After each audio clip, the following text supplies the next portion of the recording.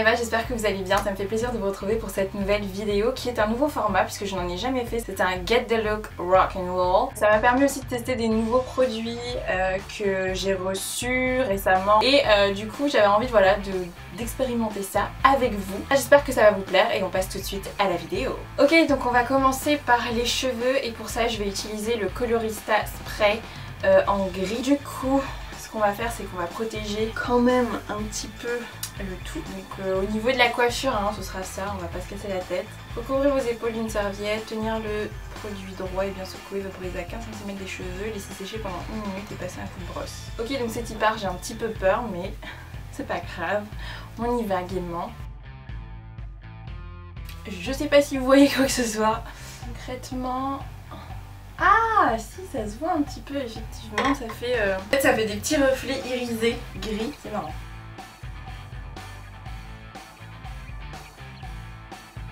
Ah mais là par contre il m'aurait fallu genre deux bouteilles quoi.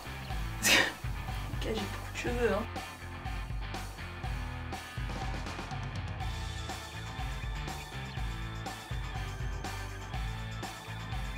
Crois que la bombe est vide. En vrai ça se voit plutôt bien. Euh, à la caméra je pense que ça ne va pas ressortir mais peut-être que quand j'irai dehors ça se verra beaucoup plus. Je vais me laver les mains et on va passer tout de suite au make-up. Ok donc j'ai déjà hydraté ma peau, je vais passer directement au fond de teint et j'utilise le teint port et matité de chez Clarins en teinte Nude Cappuccino. Cappuccino. Donc c'est la numéro 5 et euh, ce fond de teint je dois vous dire qu'il est il est juste magique en fait. Je vous explique, c'est euh, ce fond de teint c'est la Life, effet Photoshop assuré de fou. Si vous cherchez une couvrance maximum, c'est pas celui-là qu'il faut prendre. Mais après par contre en termes d'unification du teint et euh, voilà de la matité etc il est vraiment très très bien il rend pas la peau grasse il est assez hydratant et il me semble en plus qu'il y a un soin à l'intérieur je vais donc maintenant appliquer mes deux concealers de chez NYX qui sont les HD Studio en teinte 6.7 et 6.3 donc j'ai plein de petites tuces là qui font la teuf donc en fait pour le maquillage là je vais faire un truc assez soft, enfin je trouve que ce genre de look ne nécessite pas un maquillage euh, hyper fort et tout, enfin je trouve que c'est très très bien avec des maquillages assez nudes et tout. Donc maintenant je vais utiliser euh, ma poudre, ça s'appelle comment celle-là?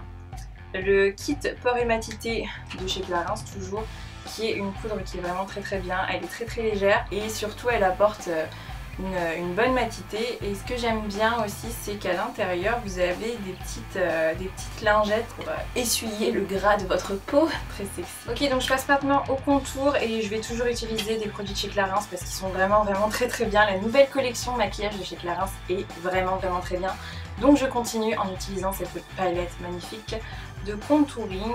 Donc je vais utiliser euh, le bronzer d'abord pour un léger, léger, léger, très léger contour. On va mettre une touche de blush. Ensuite, je vais utiliser la palette infaillible Blush Paint de chez L'Oréal et je vais utiliser en fait le fard irisé qui ressemble un petit peu au, au Orgasm de chez NARS. Ensuite, je vais venir mettre un fard nude ma paupière mobile donc euh, de ma palette NYX, c'est ma palette favorite. En fait c'est ma seule, c'est la seule palette que j'utilise vraiment tout le temps. Et pour ajouter un tout petit peu plus de profondeur, je vais venir utiliser le fard sans que ça fasse trop travailler en fait et je vais venir le mettre en creux externe de l'œil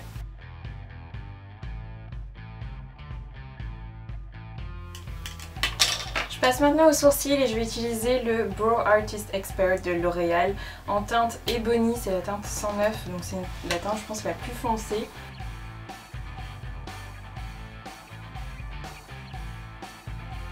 Je vais ensuite fixer mes sourcils avec le gel à sourcils de chez NYX. Donc voilà les sourcils rien d'extraordinaire. Je vais ensuite appliquer euh, le mascara de chez L'Oréal qui est le euh, Fossil Superstar X Fiber. Donc en fait c'est un mascara qui se fait en deux phases. Donc la première je pense c'est pour allonger les cils. Et la deuxième c'est pour rajouter un peu de volume. La brosse est vraiment très chelou. Euh, la, brosse de la deuxième phase. Mais je vois vraiment en fait c'est elle qui fait le boulot quoi. Dites-moi en commentaire si vous trouvez que le résultat est fou pour le mascara parce que moi je trouve pas forcément mais c'est le rouge velouté sans transfert de chez Sephora en teinte numéro 25 et comment vous dire qu'il est juste il est juste ouf. Donc voilà ce que ça donne.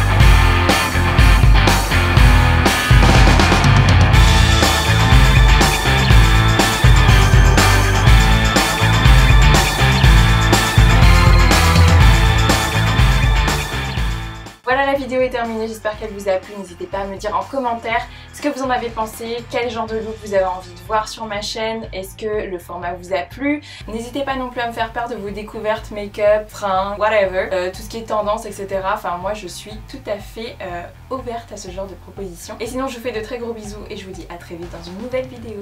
Bye bye